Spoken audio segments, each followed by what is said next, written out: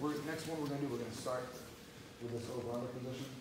And The good thing about the overhook from here is that a lot of times the person on top wants to get an underhook on you, because they wanna get their underhook, smash them, smash them in my back, and then use that, oh, this way, and use that to pass.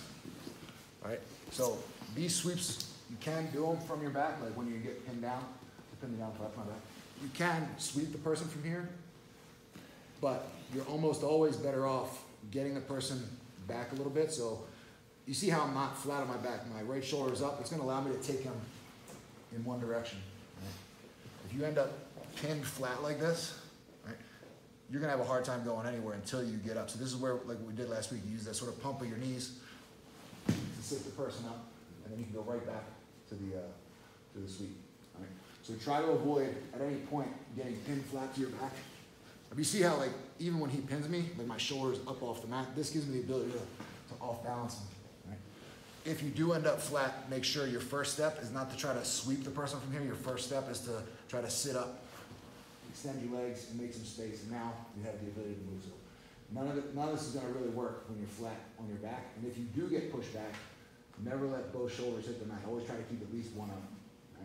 Um, the other thing is while you're doing it, as he starts start to pull away, as he starts to pull away and you're losing this control, you should always go right back to that sort of two-on-one control. So if I lose control with what I had here, he starts to pull away, I'm just gonna get two-on-one, right?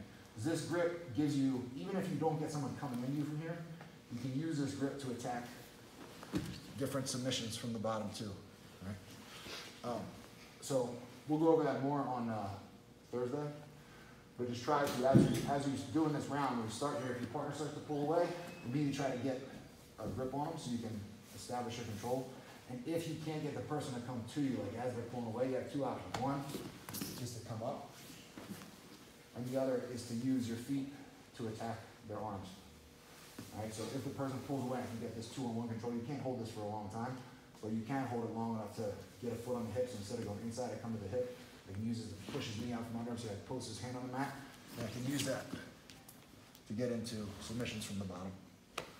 Alright, let's go, uh, you're gonna start now, over under. Person on top is trying to get past your legs now, person on bottom, you're trying to use this position, so again, wherever he goes, your feet have to follow, that's like your first sort of line of defense. Even if you lose this control, your feet have to stay connected to him, right? So if you lose this, I can pull out, try to make sure you get some sort of grip on him again, you can pull yourself back in, right? But he shouldn't be pulling away too much, he should be pressuring into you and trying to get past your legs. All right? One, two, three.